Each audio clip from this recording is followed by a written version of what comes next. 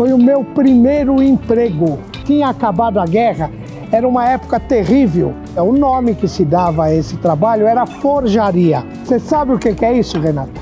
Essas ferramentas vinham da Inglaterra, porque o Brasil ainda não fazia nada.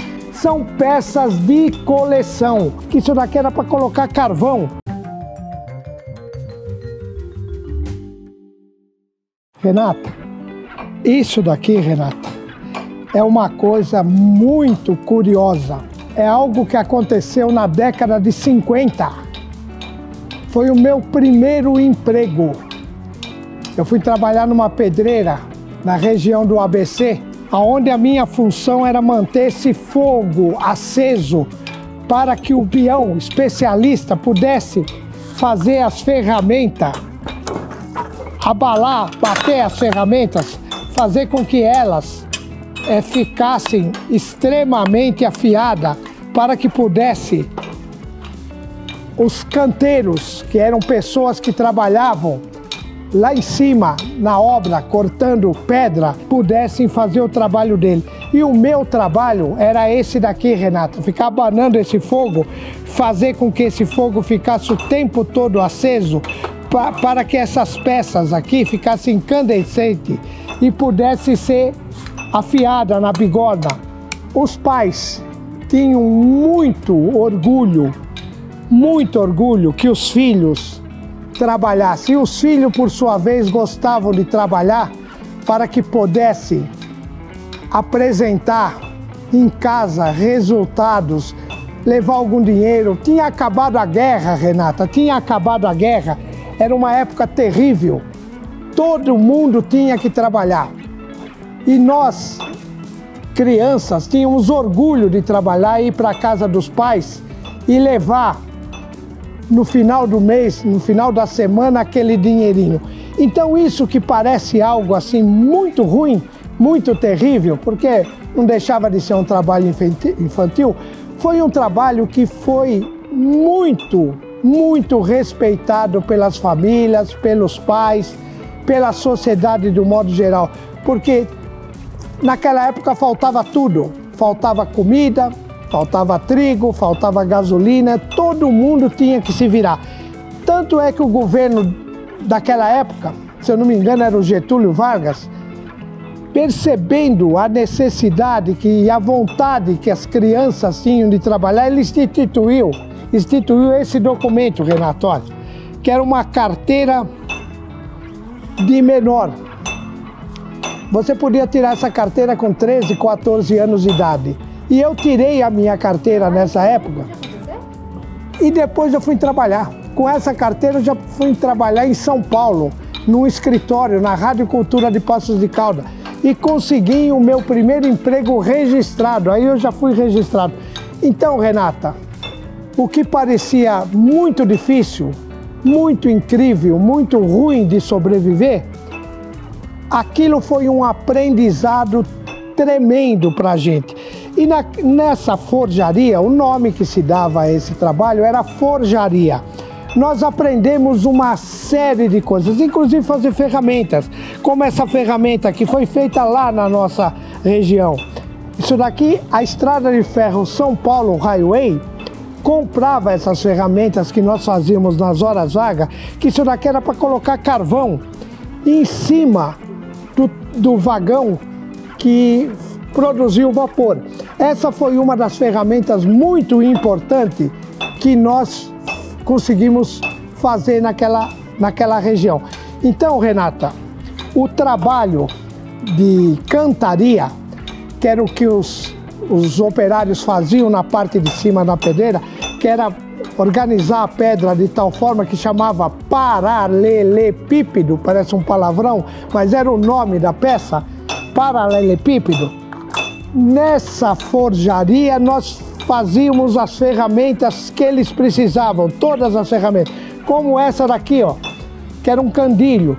Quando ia encher alguma coisa com ferro, a gente pegava o ferro que já estava derretido aqui, ó, colocava nessa parte aqui e colocava dentro da forma. Aí nós tínhamos um caudilho, um negócio diferente que era para fazer outras procedimentos dentro da forjaria. Então essa forjaria que nós trabalhamos durante muito tempo, durante muito tempo essa forjaria nos deu subsídios de continuidade, fez com que nós pudéssemos aprender a dureza da vida, que não era fácil ser filho de imigrantes e viver naquela região, não era fácil, mas nós conseguimos aprender a trabalhar, a respeitar e a dar valor àquele dinheiro que nós conseguíamos. Outra peça que era muito requisitada, que a gente fazia permanentemente lá, era isso daqui, Renato. Você sabe o que é isso, Renata? Então, Renato, isso daqui é um torrador de café. A região de São Paulo, até parte de Jundiaí, tinha muito café. E esse café ia para Santos passando por essa região, passava por ali. E nós conseguimos catar aqueles é, café que caía do, do, do, no chão, nós conseguimos colocar, colocávamos aqui, torrávamos nesse braseiro e depois a gente moía o café. E essa peça nós fazíamos também, é um torrador de café. Ele consegue, você coloca diretamente no fogo e você vai moendo o café com essa movimento. O café vai ficando torrado todo por igual. Isso era outra peça que nós fazíamos naquela região. Então, Renata, Aparentemente isso daqui pode parecer um trabalho absurdo, um trabalho dificílimo, um trabalho... É só um trabalho como qualquer outro, cansativo, que no final do dia a gente estava realmente cansado, mas tinha a gratificação de ter cumprido o nosso dever, trabalhar.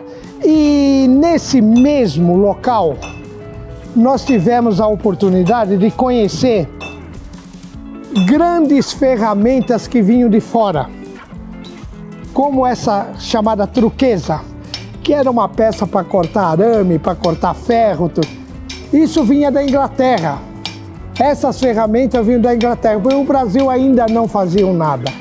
Com a construção da estrada de ferro São Paulo a Jundiaí, essas ferramentas vinham lá para a gente recondicioná-las, amolar, fazer bico.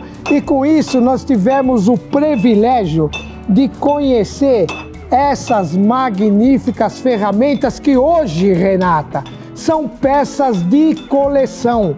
Hoje estão sendo procuradas por grandes colecionadores. Isso eram ferramentas que foram utilizadas na nossa forjaria. E juntamente com essas ferramentas, nós também conseguimos administrar um conteúdo social extremamente curioso, porque ali era muito importante que todos fossem amigos e companheiros, porque a situação era extremamente perigosa.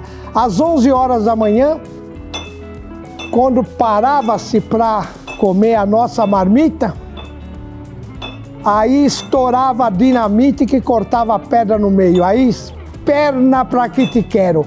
Quem não corresse, corria o risco de ficar embaixo de uma daquelas pedras que rolava o morro, como aconteceu algumas vezes. Então, Renata, nessa forjaria nós conseguimos é, criar, inclusive, o nosso conceito artístico, nosso conceito de arte, pelo fato de estar disponibilizado todas essas questões visuais que deixaram com que a gente fizesse o tempo todo um conceito artístico criativo. Até hoje, essas imagens de quando eu era garoto acompanham a minha carreira artística. Então, meus amigos e minhas queridas amigas, essa foi o início da minha carreira artística, nessa forjaria na cidade de Mauá, no Alto da Serra, nos anos 50. Foi lá que eu consegui criar o meu primeiro conceito de arte, principalmente arte abstrata, baseada nisso que eu via, nessas dificuldades que estavam na minha frente, mas que depois de tudo resolvido, tudo pronto, se tornavam realmente coisas extremamente importantes. Então, mais uma vez, eu quero agradecer a presença de vocês. Se vocês gostaram desse episódio, curtam e compartilhem, inscrevam-se no canal e continuem assistindo, prestigiando nossos vídeos. Muito obrigado